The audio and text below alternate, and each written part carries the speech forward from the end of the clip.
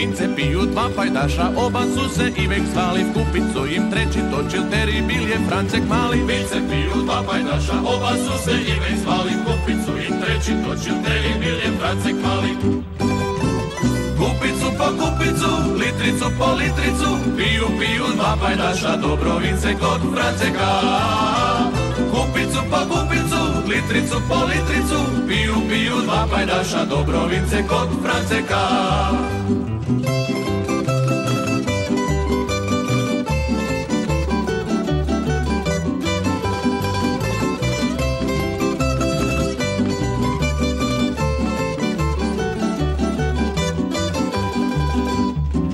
Prikleti su svakog dana jer im vinček dobro godi. Moliju se svim svetima da v Gorici dobro rodi. Prikleti su svakog dana jer im vinče dobro godi. Moliju se svi svetima da Gorici dobro rodi. Kupicu po kupicu, litricu po litricu Piju, piju dva pajdaša Dobrovince kod Franceka Kupicu po kupicu, litricu po litricu Piju, piju dva pajdaša Dobrovince kod Franceka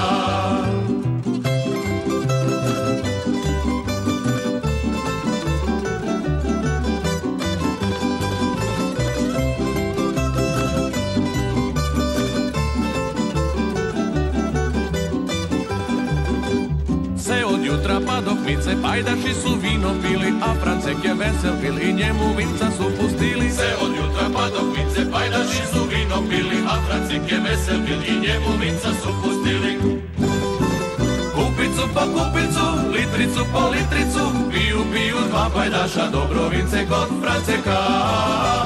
Kupicu po kupicu, litricu po litricu, piju, piju dva pajdaša, Dobrovince kod Franceka. Piju, dva pajdaša, Dobrovince kod Franceka.